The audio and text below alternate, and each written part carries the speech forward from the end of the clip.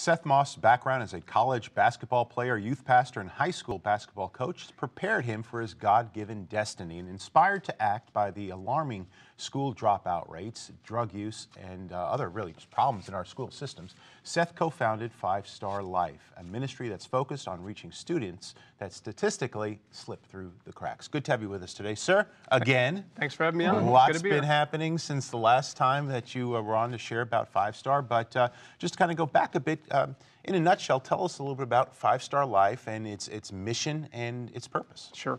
Well, you know, I always start by talking about why you know why start another nonprofit. There's so many of them, so many mm-hmm. youth service serving agencies. Mm-hmm. But it started with the dropout rate. Seven thousand students drop out of school every single school day in America. Seven thousand. Wow. A, a visual of that. I was to give a visual. Put a student in a school desk, step one on top of another. You'd reach the height of the Empire State Building. Mm. Now do that 12 times. Mm-hmm. That's what's happening every day in America wow. with students dropping out. So we wanted to target that. We started talking to high school principals, looked at all the data, and it pointed to students were slipping through the cracks mm-hmm. after school in the, in the ages of middle school.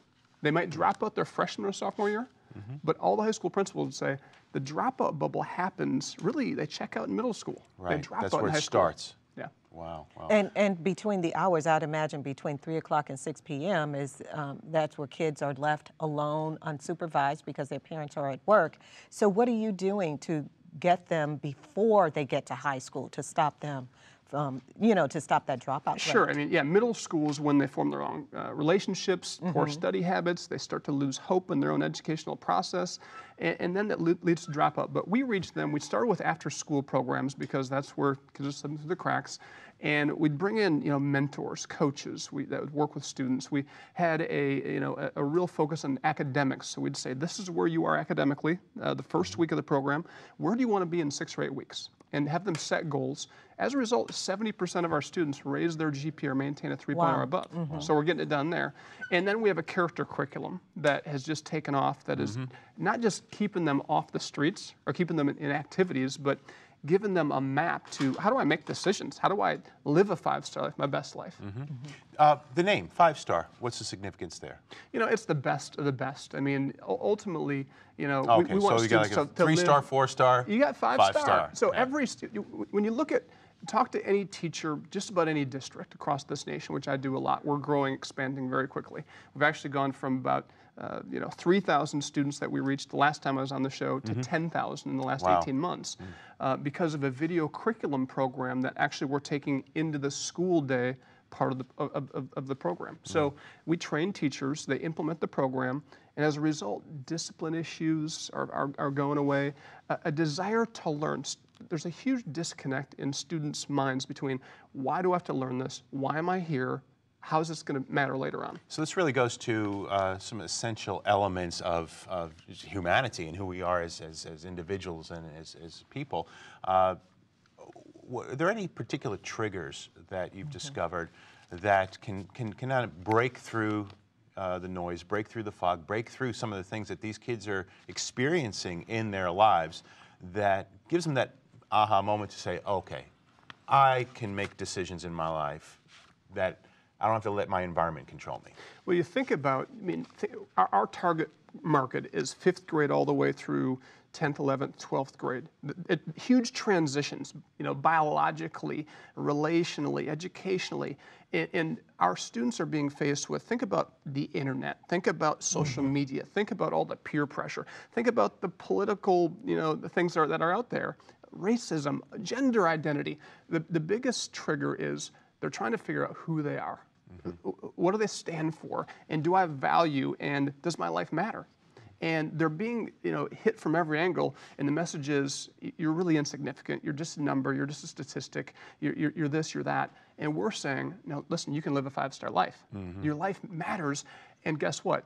Your future success is contingent on one thing your effort, your drive what you do with it, taking responsibility. It's one of our five core values. Mm. You know, Seth, I used to be a teacher, and whenever I taught at risk students, and whenever I ran into someone who could help my students, I would just, you know, please, please come along, help my students so that they can graduate. I'd imagine you have teachers coming to you saying, please, here's a student, I've identified this person Um, is that something? So do you work hand in hand with the teachers as well? Yeah, so again, we have two, two kind of flagship programs. One is after school, working with middle school students. Right. And we work very closely with social workers, teachers Okay. that recommend students for our programs. And then the other program is this video curriculum that sc- entire schools are implementing during the school day in their classrooms where they're walking through these things. So yes, teachers actually go through the whole school goes through training on how to how to coach students. They really become life coaches in the classrooms.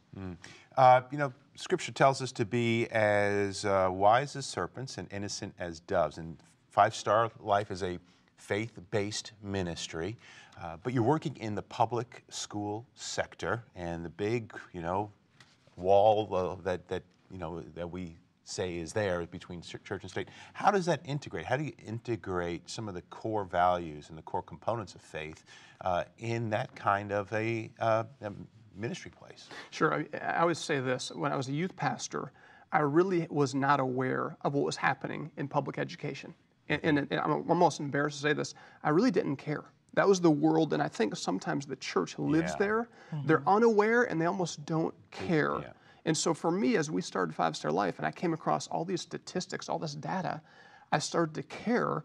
And, and instead of going in and almost having this proselytization mentality, um, I went in with this Jesus mentality, Servant- servant, servant, leadership. yeah. Let's. What can we do to help? And as a result, there's a lot of ministry opportunities that open up. Okay, I know you must have quite a few success stories, so tell us a few of them. Oh gosh, um, just last night I was with a student who, uh, gosh, he's a junior in high school. He's on honor roll. He's on this tennis team, but he moved here out of Chicago, and his mom was simply trying to get him out of what they've all, I mean, generations of poverty, of gangs, of the south side of Chicago, the murder capital of the world, right? And she said, We've got to get out. They ended up moving to to Elkhart. First week of school, he enrolls in a new school, and guess what? He gets suspended, gets into a fight. And so that followed him. She reached out to the school staff and they said, Your son needs five star.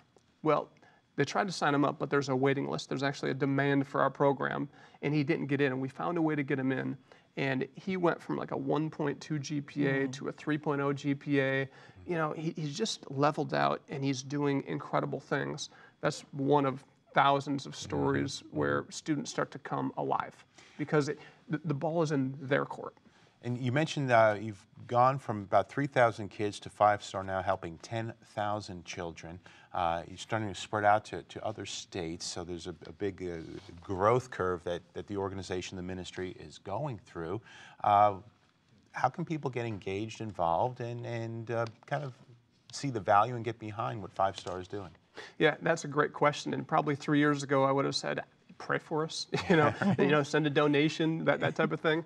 But now we have this scalable model where they can bring Five Star to their school. It's a video curriculum program that they can spread across their whole district, and it's very reasonable, it's very affordable, and the impact is significant. So mm-hmm. go to fivestarlife.org. You can learn more about all of our programs. You can volunteer, you can donate, you can bring Five Star to your school. Wonderful, wonderful. I want to thank you so much for being with us today on Harvest. Seth Maust, co founder of Five Star Life, and to connect with Seth and this great ministry that really is changing the lives of thousands of students each and every day. Maybe bring it to your community, your school district as well. You can go to fivestarlife.org or go to our website, harvest-tv.com. You'll find an easy way to link back to Five Star. Coming up later, your prayer requests, but up next, something we've been waiting for. We're going to hear from Brian Bush with the latest on Israeli reactions to the U.S. presidential election. We'll be right back.